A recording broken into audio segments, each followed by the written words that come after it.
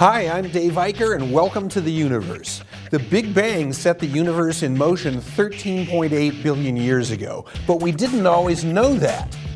How did early ideas about cosmology get going? Turn on your mind and get ready for the real reality show.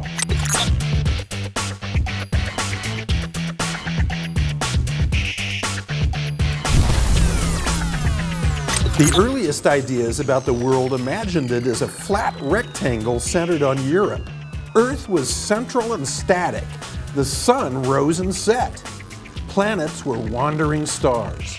Earth, the sun, and stars were set on a series of concentric spheres. Greek cosmology, perfected by Aristotle, listed a series of 55 heavenly spheres.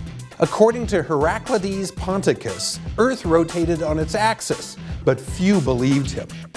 Claudius Ptolemy, in the second century AD, began to push things along.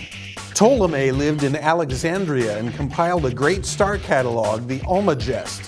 He believed Earth was a central fixed sphere. After all, rotation would cause things to fall off.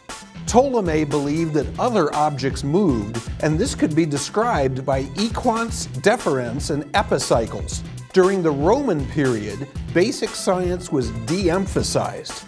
Architecture, military science, and transportation took over. For centuries, common people had almost no knowledge base. Rulers, clergy, and scholars were the informed ones, and even they had a hazy view of reality.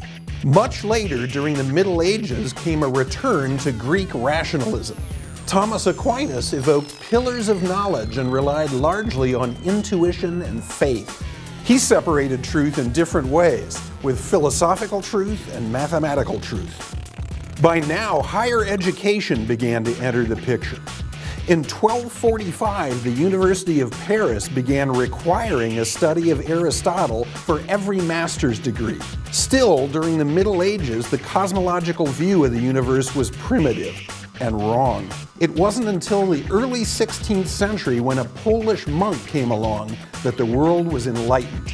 We'll explore that tale in the next episode. I'll see you next time on The Real Reality Show.